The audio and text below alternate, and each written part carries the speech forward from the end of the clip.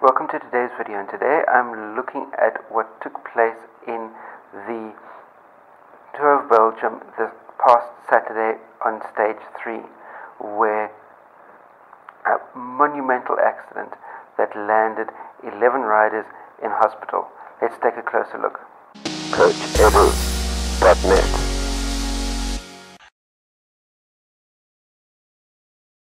Stage 3 of the Tour of Belgium had this monumental crash that was caused by two motorcycles that crashed into each other with 60, uh, 65 kilometers into stage 3 and as a result of these two motorcycles crashing into each other they veered into the bunch wiping out most of the bunch in the process.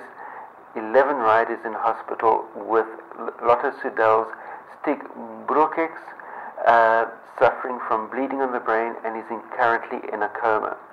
Following the, the crash of the motorcycles into the bunch, the rest of the bunch stopped racing completely and eventually the race commissar in the white vehicle over there was forced to nullify stage 3 and the riders slowly made their way through to the finish line.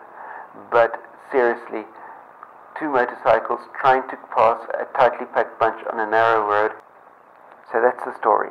Cycling is a phenomenally dangerous sport, and putting motorbikes in close proximity to a bunch moving at high speed over the last couple of kilometers of a sprint stage is absolutely ludicrous, and the organizers of the tour need to be taken into task about this by the teams, by the UCI, to ensure that a high level of rider safety is ensured from the perspective of not getting run over and being put into hospital, into comas because of the stupidity of the official race vehicles, the official race bicycles.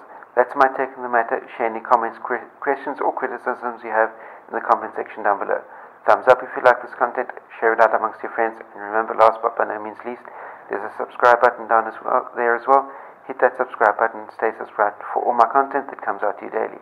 Remember to stay carved up for the win. See you next time. Cheers.